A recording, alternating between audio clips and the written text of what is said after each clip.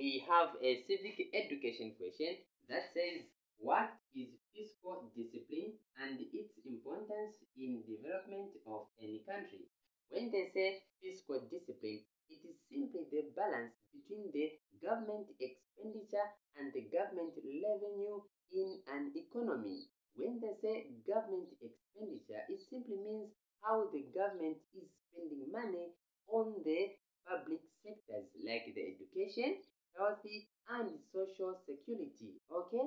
When they say government revenue, it simply means the main source of income for the government, which is simply the tax. Okay? The other question is the importance.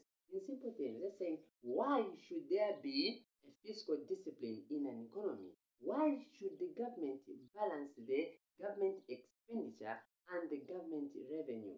The answer is simple. It is because if this is not being maintained, then the government will be spending more and receiving less. Hence, it will lead the government to borrow money from the central bank or it will have to suffer the deficit in the production of goods, services, and supply of.